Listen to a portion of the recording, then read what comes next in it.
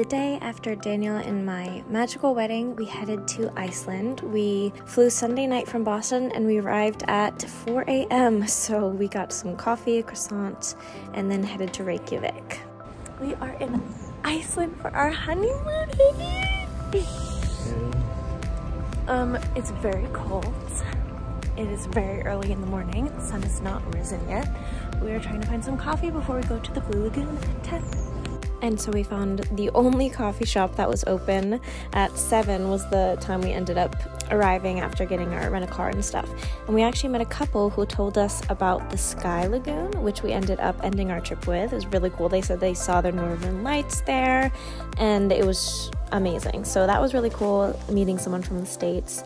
And then we just walked around Reykjavik as the sun was rising and we needed to kill time until we went to the Blue Lagoon. So we just explored this adorable little city. And we couldn't even get into our Airbnb yet because check in was at 3 p.m. So we really were kind of stranded and it was quite cold. But uh, eventually it became time to head to the Blue Lagoon. Hot tip for anyone going to Iceland look up the uh,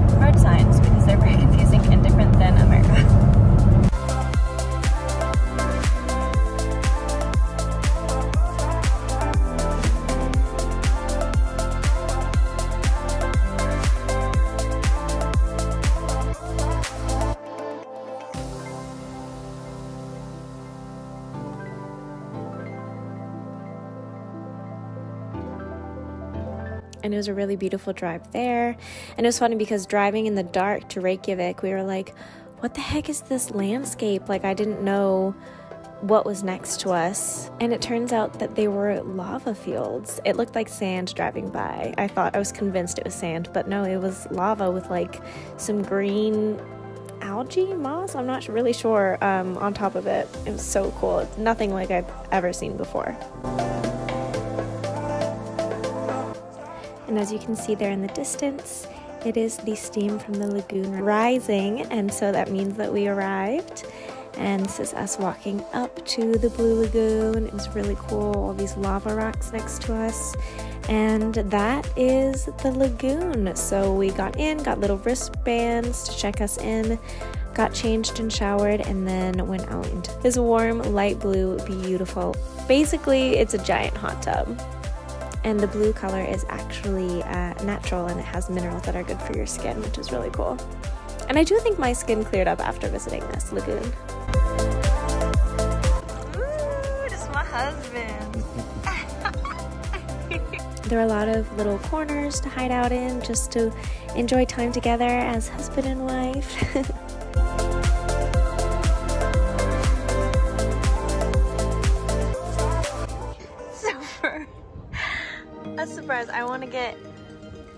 matching tattoos with Daniel, and he won't yet. So for our wedding night, look what he did. Funny. to match mine. I love you. I love you. I can't see anything. What? Oh, go ahead. Oh, I can't see anything because of the mist, but we're trying to find the face masks. And we also saw, it looked like there was a movie crew filming something. We got our face mask, trying to get it. You can do more masks if you want. Well, we get one included. We got the one that was included. Oh, they never tapped us though. Oh, so maybe you get more? I think it's unlimited there. Mm-hmm. Like whatever they gave us is unlimited. We'll see you. You can put your hand in the water. Yeah. And then after the Blue Lagoon, which was so relaxing and the perfect way to start. Oh, we actually had to stop um, at a gas station and nap because we could not keep our eyes open. But we made it back to Reykjavik and we did a little shopping. We both needed hats, so we got little Iceland hats. Woo!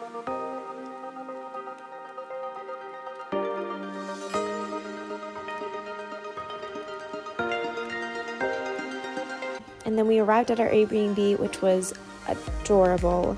Um, just the decorations, the style. We stayed up in the loft with this beautiful view of the mountains in the back. And yeah, it was just so cute and quirky and um, was a really lovely place to stay.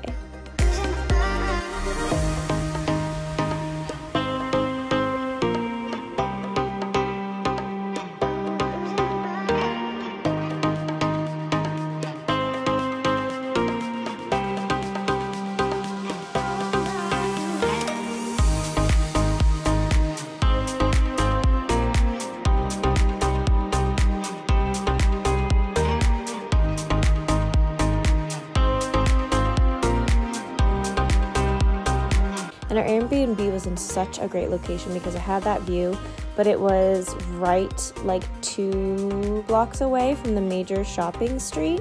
Um, so all the restaurants, all the shops, anything we needed was right there. It was perfect location wise.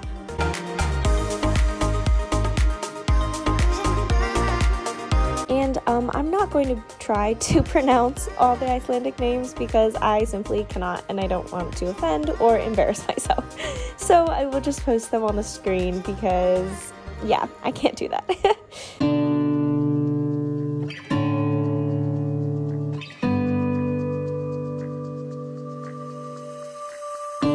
Our Airbnb host left us a really cute list of her favorite things to do, which was nice. We tried to go to a few of them, so it was definitely helpful.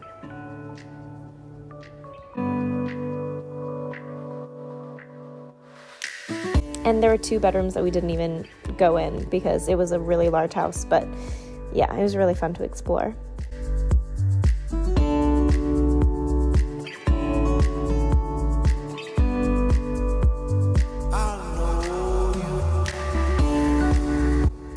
Had this beautiful little balcony where you could really see the I think it was the ocean and the mountains and a few other apartment complexes.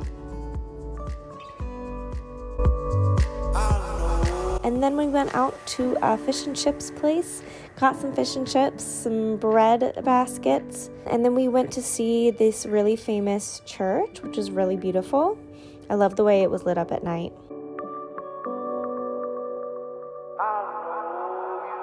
We had a lovely little dinner. We are in our Icelandic hats and we're going to our Northern Lights tour. The index is low, so my hopes are low, but they're also secretly high. So hopefully we'll see something. The magic is gonna happen. Mad, you know what? It always works out. God is good, right? He's still good if we don't see Northern Lights, but I hope we do. so then we went on the Northern Lights tour, and unfortunately, we did not see the Northern Lights. But don't worry because there's more to come. So the next morning, we found this little cafe, which turned out being my favorite.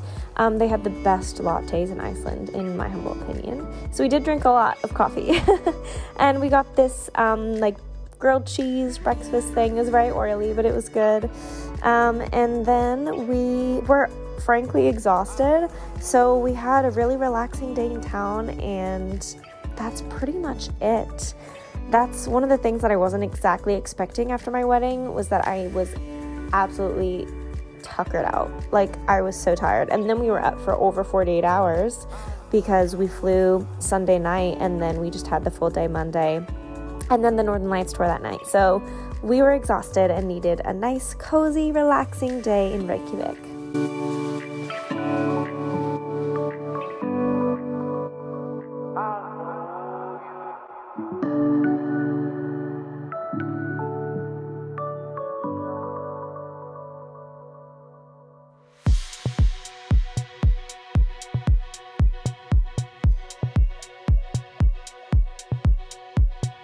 And everywhere you could see this adorable puffin merchandise. And we both say that we saved a lot of money because unfortunately um, the fall and winter are not puffin season. So we couldn't see puffins so we didn't want to buy the puffin merch. But if we had then we would have spent at least three times the money we did um, on all the adorable puffin merchandise. But i loved the sheep stuff so i was happy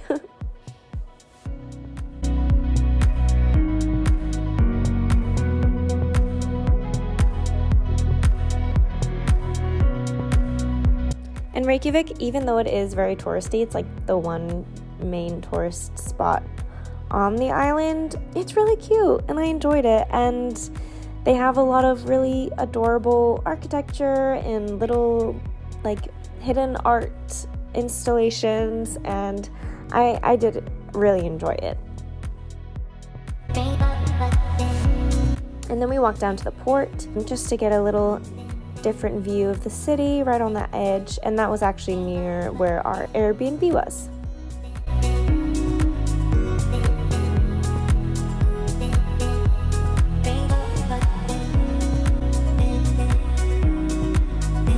And then to do something fun, Daniel loves darts, so we found this darts bar that we went into. Look what I just got! Oh my gosh! It was like us and then these like professional darts players, I think, practicing. But we played some darts and I uh, have no skill, but it was very fun. We got some hot dogs. The classic is with what? Fresh onion, fried onion, No idea. something else and mustard. I had to get it plain. Is it good? Mm-hmm. Yeah. and then we walked around town a little bit at night and we got some hot dogs, which our neighbors actually told us that we had to get. And then we woke up early the next morning and went on a South Coast tour. And this was actually the, my favorite thing that we did. And you can see the geothermal springs, and they're everywhere. And that is actually um, a huge source of Iceland's energy. So they have a lot of renewable energy, which is really cool.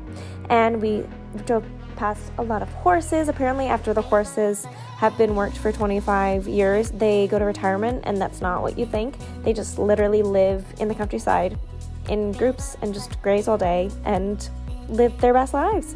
So it was really fun. We also passed a lot of sheep, which I got so excited for because I'm really into sheep right now.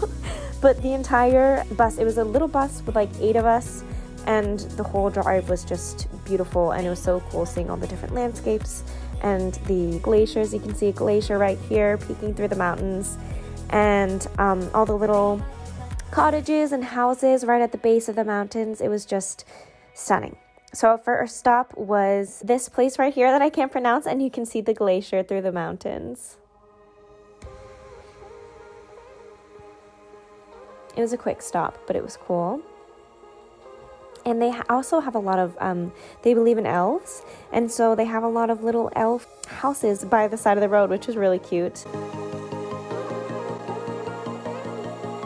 And then we went to Skogafoss, is the one thing I'm going to try to say, and that is this beautiful big waterfall, and there was a rainbow next to it, which was beautiful, and the mossy mountains, and a field of sheep. So it pretty much had everything.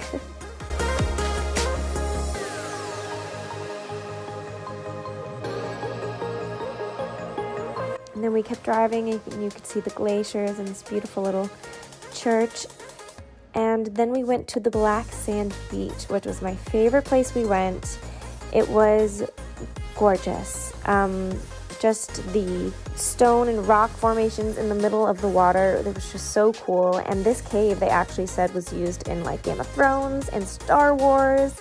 Um, that's what our guide said, so I'm not sure. I didn't fact check, but it was so cool. I don't know how it was made with all those vertical pieces of stone. It was really really beautiful to see and quite big.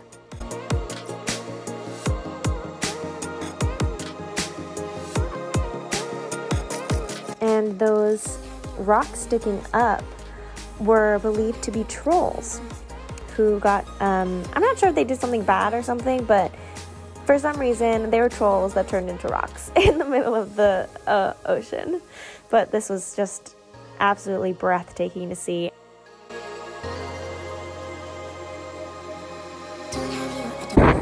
This wind is crazy! Woo! This wind's of rocks hurt your face! and the sand was it was pretty big it was like pebbles and the wind was unreal so it, it actually whipped the pebbles into your face which wasn't super pleasant but the view was worth it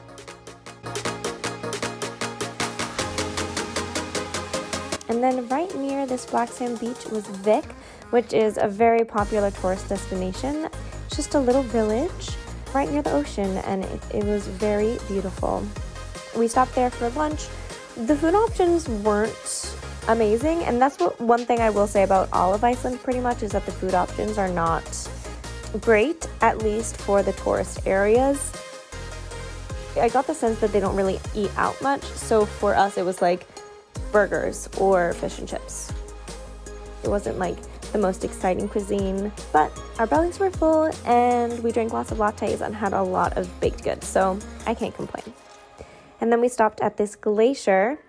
This was the closest we got to the glacier, and it was really cool to see how, I mean, obviously everything was frozen, wink wink. Um, and I decided to drink the water because, you know, you always hear glacier water, um, but it actually tasted very sulfury.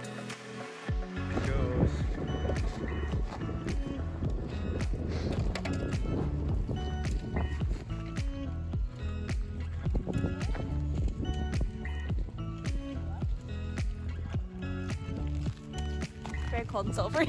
That's another thing I will say is that um, the water is clean, but it is very sulfury. But it was really cool seeing a glacier in the middle of the mountains, especially now that I'm um, good friends with Anna. And then we went to another waterfall, and this one we could actually hike behind, which was really cool. We got absolutely soaked, but it was cool and it was really beautiful. We went the the way that most people. It was a circle around, and most people went to the right, and we went to the left because um, it was less crowded. But it was definitely harder terrain up.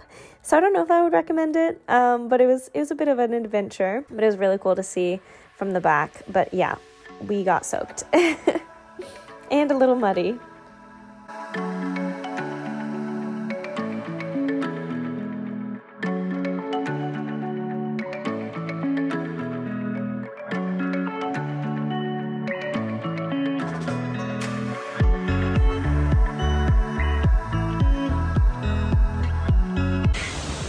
got soaked. And a lot of these beautiful destinations are quite touristy um, because tourists are actually a huge source of income for Iceland. So you will see little shops that can be cheesy, but I still think they're cute. This little waterfall was hidden within the mountains, um, and so you could hike through it. But Daniel and I were already soaked and cold, so we just stayed and enjoyed the view from the outside. And we were also a little waterfalled out, but it was still enjoyable. And people who went in said they really enjoyed it. It was a long day, so we just ended with dinner back in Reykjavik. We uh, pretty much ate and went to bed. And then we got up early and went to Rudenko, and which was our favorite bakery we found. This was actually on the list of recommendations. It was delicious. I got a pretzel croissant, which was just amazing. Trying a pretzel croissant. How's your normal one? That's pretty good. Mmm. Mm-hmm. A little salty. Still got the crunch. Still got the butter flaky. Yeah.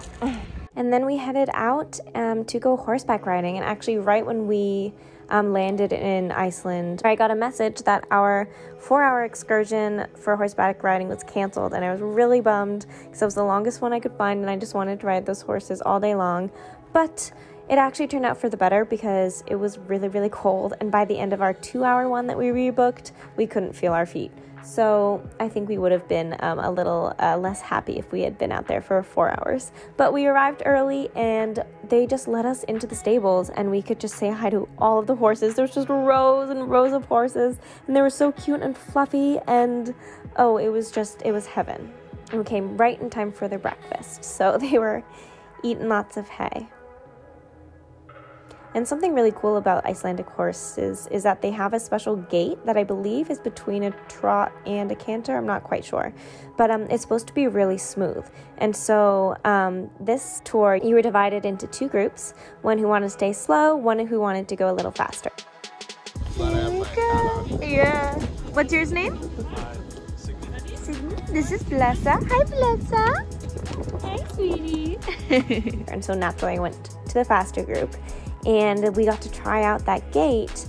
And um, unfortunately, I was it was still really bumpy for me, but I think it was a me problem because I'm not very skilled in, in riding horses, even though I'm actually taking lessons now, so we're getting better. But I think it was a me problem. For one moment, it was a little smooth. I was like, oh, I think that's what it is. And then I started clonking around in my stirrups again. So it was, yeah. But it was still a really fun ride, and the horses were so fluffy and sweet and cute and small. And we followed the leader um, as you do on trail rides, so you don't really have to steer them at all, but up um, onto the top of a mountain with the most beautiful view.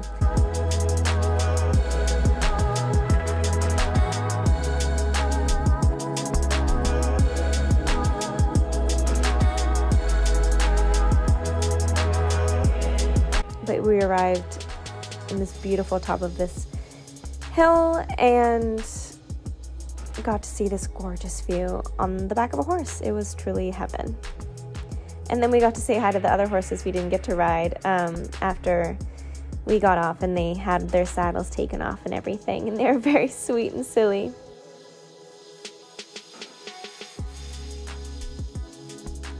Oh, and they were having a grand old time rolling around in the dirt. They were so funny, relaxing, and goofing off after a day of work.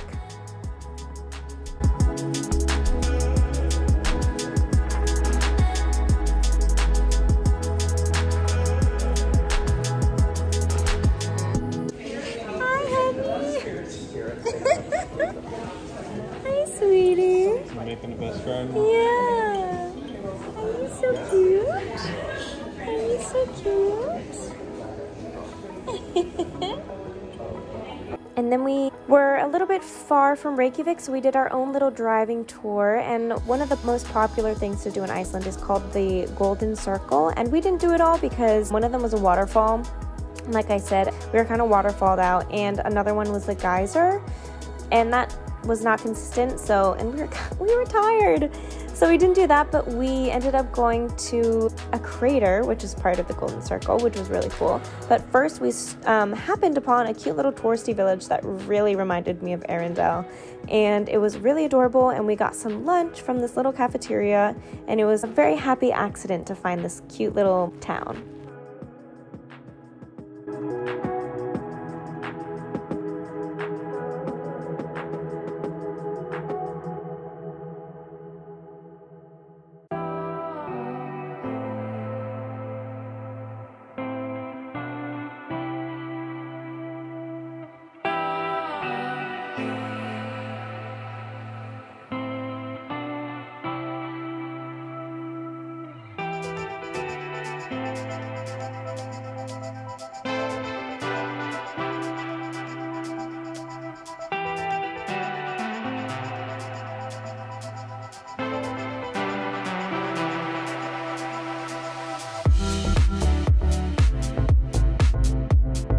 So, like I said, we ended up going to a crater um, that was actually an active volcano. So, we walked down to the bottom of a volcano, which was pretty darn cool.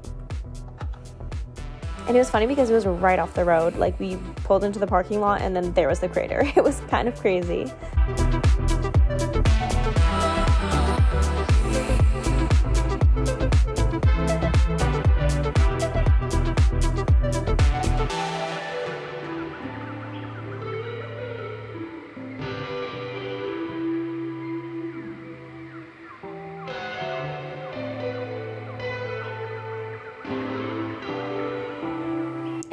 Headed to Thingvellir National Park, which is not really a walking park. You have to drive because of all those lava rocks. It's a lava field, but the views are really beautiful, and you got to see this big body of water, which was very stunning.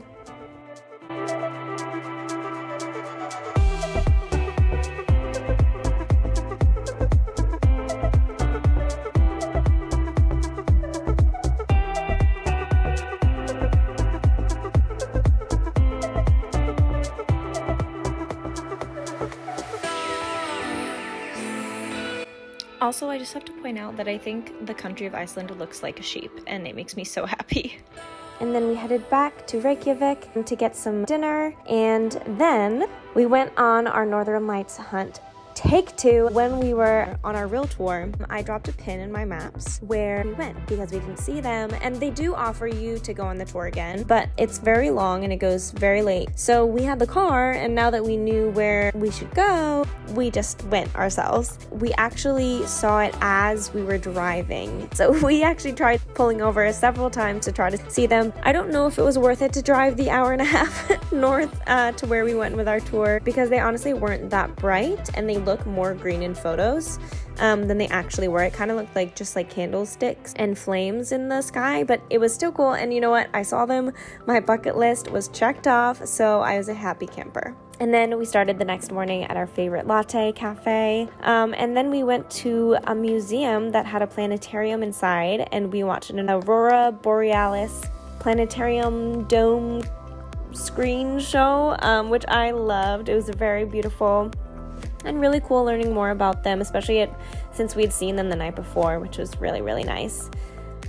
And then they had an ice cave. So we actually were contemplating going into an ice cave on a, on a tour, but we decided against it and because um, we didn't want to overbook ourselves because we knew we were going to be tired.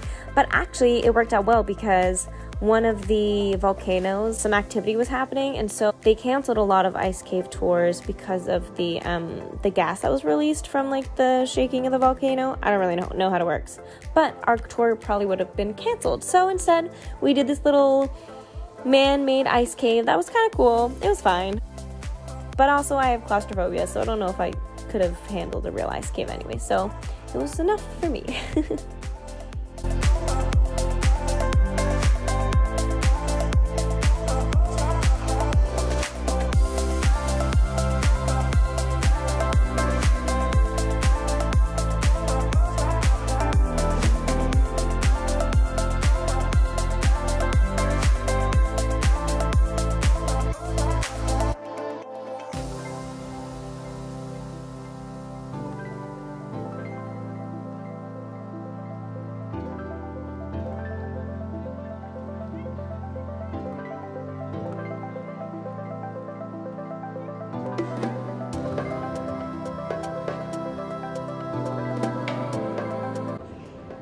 newfound passion is moss.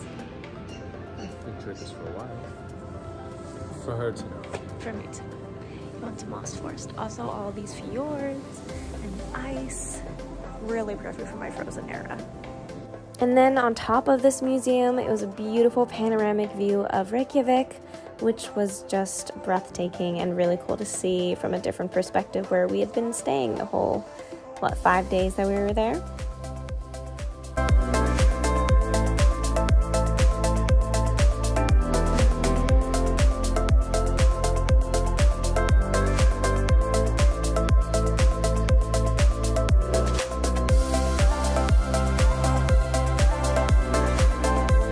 And then we walked down to the water right next to our Airbnb to see this really popular um, Viking ship sculpture that was really cool, and the water was just absolutely gorgeous. And then we went to Italian food, which is not what you'd think to do in Iceland, but hey, as I said, our options were limited. Um, and we had some yummy, cheesy pasta. And then to end our trip, we went to Sky Lagoon, which was is a man-made lagoon, uh, much more man-made than the Blue Lagoon. But um, it was really cool, really romantic, a cute little date spot. Okay, I'm using this little light to illuminate us. But this is so beautiful. You can see the stars. I feel like we might see the northern lights. It's so cool. Do you like it, honey? Yeah. the cool thing about Sky Lagoon is that it, it's an infinity pool right out to the ocean. So really close to the city, really easy to get to, and really cool.